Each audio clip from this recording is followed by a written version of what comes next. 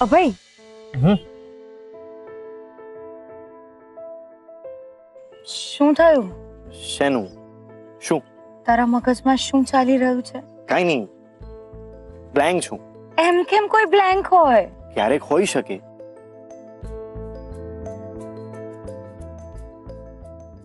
શું થયું? તને શું લાગે છે? હું ખોટું બોલી રહ્યો છું? ના એવું નથી અભય. તું આમ અચાનક બ્લેન્ક હું સાચે જ બ્લેન્ક છું હા પણ કેમ કેમ એટલે અભય આપણે સાથે પૂજા કરી તો તને કઈ ફીલ ના થયું એમાં શું ફીલ થાય આ- આપણે નક્કી જ કર્યું હતું ને કે પાર્ટનર તરીકે પૂજા કરશું એટલે હરીફાઈના પાર્ટનર તરીકે તો આપણી વચ્ચે આટલો જ સંબંધ છે ના તો આપણે ફ્રેન્ડ્સ પણ છીએ ને આનું શું વિચારી રહી છે અ, હવે આનો શું અર્થ હું બ્લેન્ક છું શું આપણે ખોખો રમી રહ્યા છે ને એટલે પહેલા હું તને ખો આપું પછી તું મને ખો આપે ચાલ હવે ઘરે જવું છે કે પછી અહીંયા જ રહેવું છે હા અભય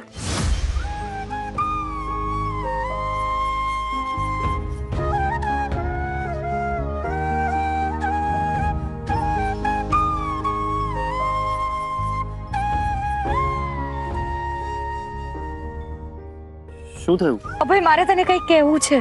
આનું અત્યારે નહીં. કેમ પણ? હવે એકબીજાને કાંઈ પણ કહેવાનો કોઈ જ અર્થ નથી. એટલે? એક મિનિટ.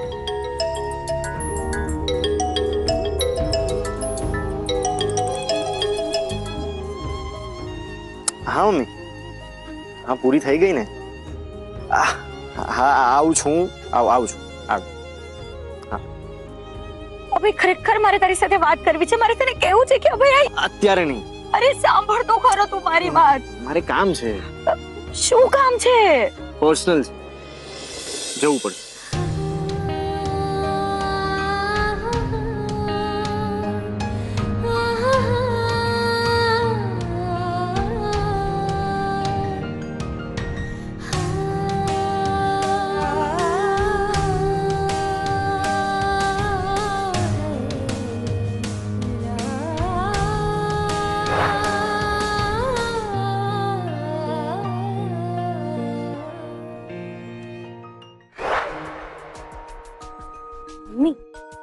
હા? અભય ભાઈએ તો કહ્યું હતું કે હમણાં જ આવું છું તો પછી હજુ સુધી આવ્યા કેમ નહીં હોય મમ્મી હમ મને તો કંઈક અલગ જ શંકા જઈ રહી છે ક્યાંક અન્નુએ તો અભયભાઈને નહીં રોકી રાખ્યા હોય ને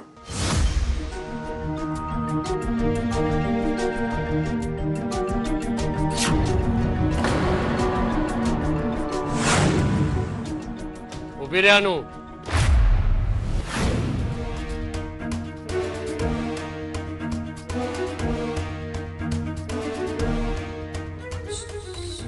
થયું પપ્પા મારે તારી સાથે વાત કરવી છે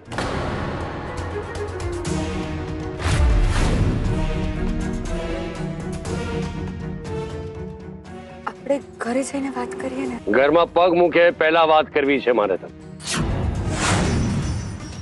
એટલે તું પ્રતાપના છોકરા સાથે પૂજામાં બેઠી ઠીક છે માતાજીનું કામ હતું એટલે હું કઈ બોલ્યો નહીં પણ હવે ભટ્ટ તરીકે તું મારા ઘરનો ઉમરો ઓળંગે પહેલા મારા એક સવાલનો જવાબ આપ તેનો જવાબ કોણ છે કુમારી અનોખી પુરુષોત્તમ ભટ્ટ કે અખંડ સૌભાગ્યવતી અનોખી અભય સવાણી આપણે પછી વાત કરીએ ને બહુ થયું હવે તારું પછી પછી પછી અને અત્યારે જ જવાબ જોઈએ પ્લીઝ પ્લીઝ પછી વાત આપણે- અત્યારે જવાબ જોઈએ એટલે જોઈએ તારે સાસરે જવું છે ને તો જા મને કોઈ વાંધો નથી હું તને રોકીશ પણ નહીં મેં તને દરેક વખતે સાવચેત કરી પણ બધા નિર્ણય તે તારી જાતે જ લીધા પણ હવે તું જે આ હા ના કર્યા કરે છે ને એ મને નહીં ચાલે આજે તું જે પણ નિર્ણય લેશે ને એ હું સ્વીકારી લઈશ પણ બસ આજે તું નિર્ણય લે પપ્પા અત્યારે ઉતાવળ નહીં કરો ને પ્લીઝ ઉતાવળ હું ઉતાવળ કરું છું પૂછ તારી જાતને કે મેં તને સમય નથી આપ્યો જો વારે ઘડિયા એક જ વિષય પર તારી સાથે વાત કરવાની મને યોગ્ય નથી લાગતી અને પ્રોબ્લેમ માત્ર મારો એટલો જ છે કે તું નિર્ણય લેતી નથી તું ભટ્ટ બનીને ઘરે રહે છે અને સવાણી તરીકે બહાર ફરે છે એ કેવી રીતે ચલાવી લઉં હું હવે તારે નિર્ણય તો લેવો જ પડશે ત્યાં તો ભટ્ટ બનીને હંમેશને માટે તું ઘરે ચાલ ત્યાં તો સવાણી બનીને તારા સાસરે પણ ભટ્ટ બનીને તું મારા ઘરે આવ્યા પછી એક વાત યાદ રાખજે સવાણી તરીકે હું તને બહાર ક્યારેય નહીં ફરવા દઉં. પપ્પા પ્લીઝ પ્લીઝ મારી વાત સાંભળો ને નહીં તું મારી વાત સાંભળ અત્યારે પ્લીઝ પપ્પા તમે તારો નિર્ણય જણાવ છોકરી પપ્પા તને ત્યાં જવું છે ને તો જા હું તને પોતે ત્યાં મૂકી આવીશ મને કોઈ વાંધો નથી અને તને વાત કરવામાં જો ખચકાટ થતો હોય ને તો હું વાત કરીશ પ્રતાપ સાથે એ મારી વાત સમજશે પણ આજે આ વિષયનો અંત તારે લાવવો જ પડશે તારે ત્યાં જવું છે ને મને કોઈ વાંધો નથી. ચાલ.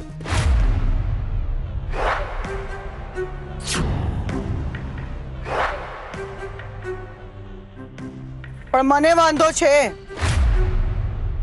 કારણ કે મને આ છોકરી મારા ઘરમાં નથી જોઈતી.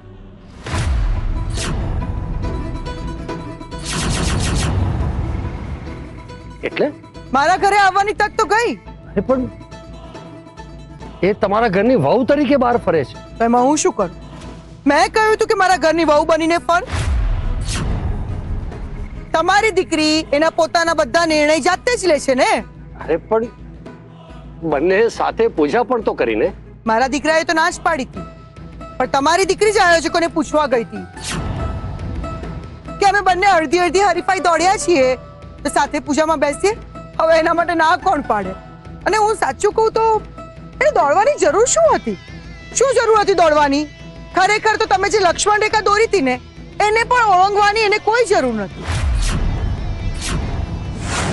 કાકી હરીફાઈમાં જવું જરૂરી હતું એટલે હું ગઈ હતી તું ન જાત તો શું થાત વધી વધીને મારો દીકરો હારી જાત ને તો એ મને ચાલત અત્યારે આખા ગામમાં જે વાતો થઈ રહી છે ને કે પત્નીની મદદથી જીત્યો એ મને જરાય નથી ગમ્યું હા હરીફાઈ માટે આખો દિવસ રાત મહેનત કોણ કરે છે તો કે મારો દીકરો અને અત્યારે જય જયકાર કોનો થાય છે તો કે તારો શું કામ ભાઈ એવું શું કામ તે તો છૂટાછેડાની નોટિસ મોકલી હતી ને તો શું વિચારીને હાળું પડ્યું તે એનું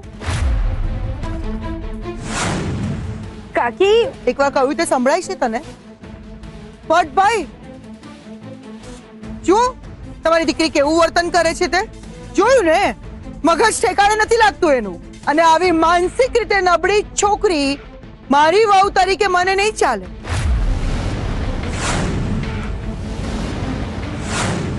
નોટિસ મોકલી હતી ને તે અને તમે જ કહ્યું તું ને કે નોટિસ તો જવાબ નોટિસ થી આપવાનો તમે નોટિસ થી જવાબ આપીશું પણ મહેરબાની કરીને બીજી વાર તમારી છોકરીનો હાથ પકડીને મારા ઘરના દરવાજે નહીં લઈ આવતા હા કારણ કે એના માટે મારા ઘરના દરવાજા હંમેશા માટે બંધ છે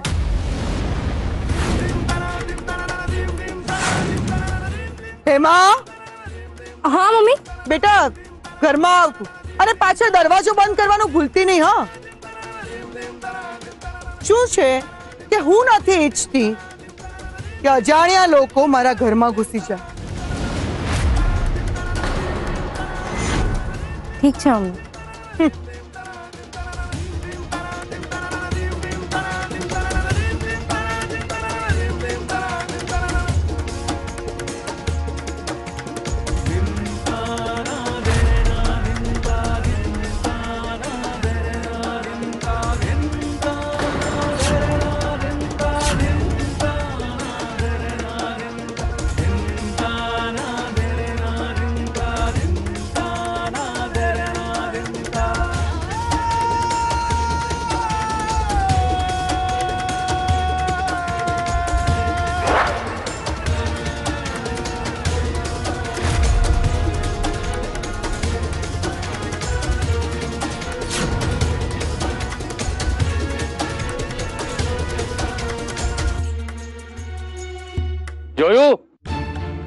હવે શું કેવું છે તારે હવે તો નિર્ણય લઈશ ને અને હવે કોઈ અસમંજસમાં રહીશ નહીં અને એક વાત યાદ રાખજે કે એક વખત ભટ્ટ તરીકે તું મારા ઘરમાં પ્રવેશ કરીશ ને પછી સવાણી તરીકે તને બહાર ક્યારેય નહીં ફરવા દઉંવાનું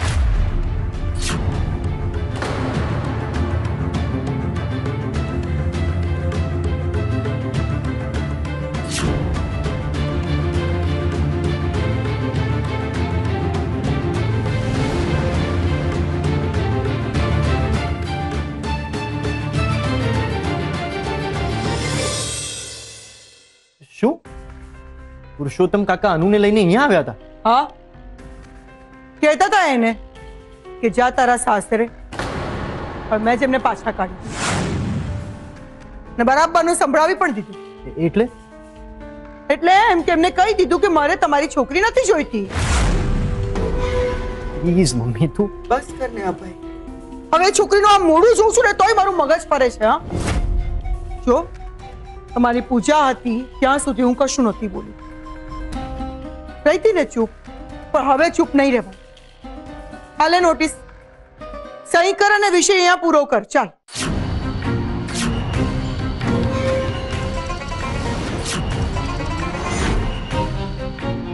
ચાલ સહી કર ને હા ભાઈ સહી કર બસ હવે જો હવે આ વિષય વધારે લાંબો ચાલ્યો ને તો ખરેખર મારી તબિયત બગડશે તું જરા શાંતિ રાખ ને પ્લીઝ જો તને તારી માં જોઈતી હોય તો ફટાફટ સહી કર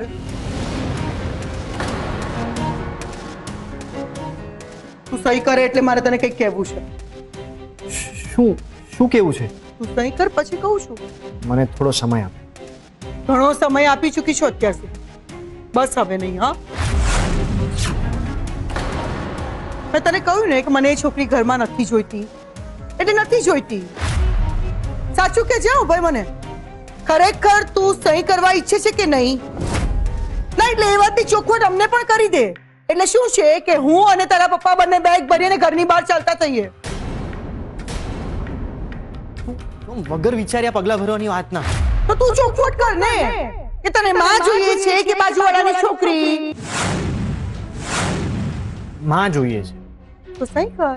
અરે અભયભાઈ આટલું બધું શું વિચારી રહ્યા છો જે માએ તમને જન્મ આપીને આટલા મોટા કર્યા એ માં મહત્વની છે કે પછી તમારી પેલી ફ્રેન્ડ જો હું તમારી જગ્યાએ હોત ને તો મેં તો વિચાર્યા વગર સહી કરી નાખ્યું ભાભી તમે થોડી વાર માટે બહાર જાઓ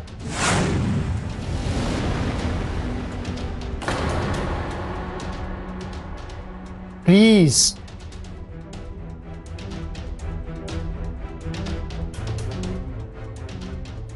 એને બહાર કાઢવાથી શું ફાયદો થવાનો છે? કારણ કે નિર્ણય તો મેં લઈ લીધો છે બેટા.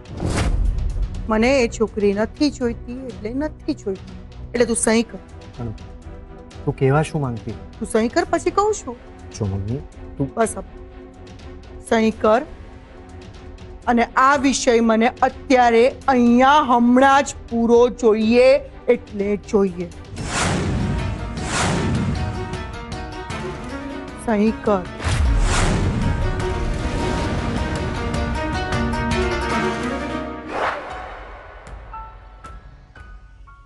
શું થયું કેમ તમે બંને જણા રડો છો પપ્પા તમે અનુને ઘરમાં કેમ નથી બોલાવતા તું આ એનું ઘર નથી બસ આ પાડોશીને તું કાં નથી ઓળખતો પોરીને ઘરમાં બોલાવી લેની હું કામ વાત બતાવ્યા કરતો છે ખોટી એની ભાવનાનો તો જરા વિચાર કરો પપ્પા તમને બંનેને શું લાગે છે હું એનો દુશ્મન છું આ બધું કરવાનું મને ગમે છે તો શા માટે તમે આવું વર્તન કરી રહ્યા છો આવું વર્તન કરીશ ને તો જ એને સાચી વાતની સમજણ આવશે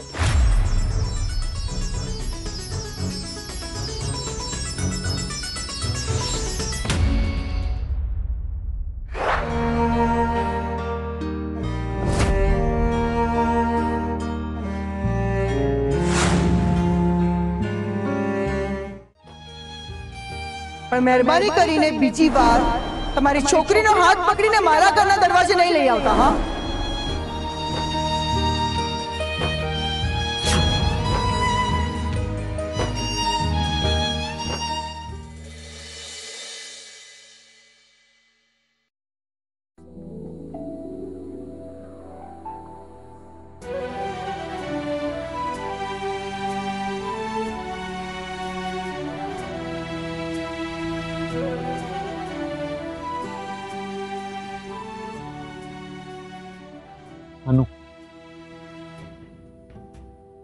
રડ નહીં. બહુ બધી ભૂલો કરી છે અભય. એટલે? અરે તારી વાત માનવી જોઈતી હતી. પણ હું કન્ફ્યુઝ હતી અભય. ઠીક છે ને. ક્યારેક થાય. આખરે આપણે માણસ છીએ. પણ આમાં ઉપર તું હારી ગઈ ને? શું હારી ગઈ તું? મારું પિયર. મારું સાસરું. પણ તારું સાસરું ક્યાં તારા માટે ક્યારે તારું સાસરું હતું? જ હા એટલે મારા કારણે જ. પણ તારા પિયરના લોકો તને ક્યારે નહીં છોડ.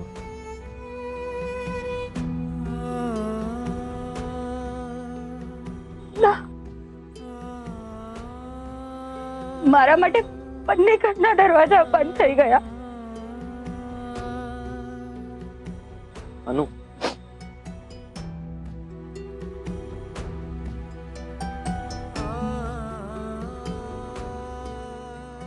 ના અનુ સવાણી પરિવારના દરવાજા તારા માટે બંધ થયા છે પણ ટેમ્પરરી એ ફરી જરૂર ખુલશે અને રહી વાત ભટ્ટ પરિવારની. તો એ પરિવારના દરવાજા તારા માટે ક્યારેય બંધ નહીં થાય. તું જોજે પુરુષોત્તમ કાકા તને જાતે જ ઘરે લઈ જશે. અભય ટેમ્પરરી દરવાજો ફરી ક્યારે ખુલશે? ફરી ખુલશે. અત્યારે પપ્પાની તબિયત સારી નથી ને એટલે મમ્મી થોડી વધારે ટેન્શન મારે છે. બધું સારું થઈ જશે. હમ? હિંમત રાખ. અને જો અનુ મારી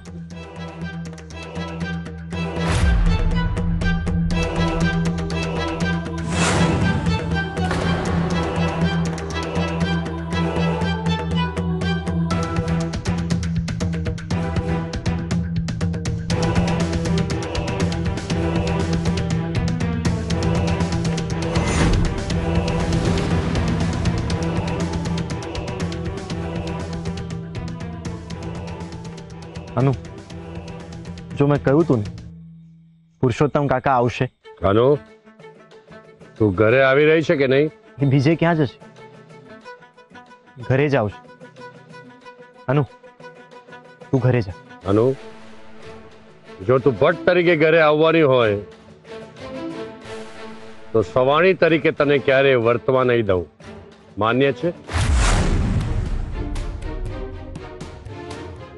માન્ય છે કાકા અને આ બીજી વાત આજ પછી સવાણી ખાનદાનના કોઈ પણ સભ્ય સાથે તું બોલશે નહીં વાત કરશે નહીં કે કોઈ પણ જાતના સંબંધ નહીં રાખશે ચાલશે ને કાકા અનુ તરફથી હું તમને વચન આપું છું તમારી મરજી વિરુદ્ધનું કાંઈ જ નહીં થાય અને જે કહેશો એ બધું મને માન્ય છે તમે પ્લીઝ એને ઘરે લઈ જાઓ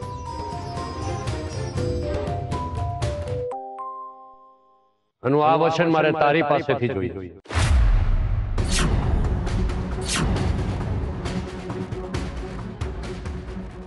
તમને મારી ઉપર વિશ્વાસ નથી પપ્પા વિશ્વાસ છે તારી પર બસ તો પછી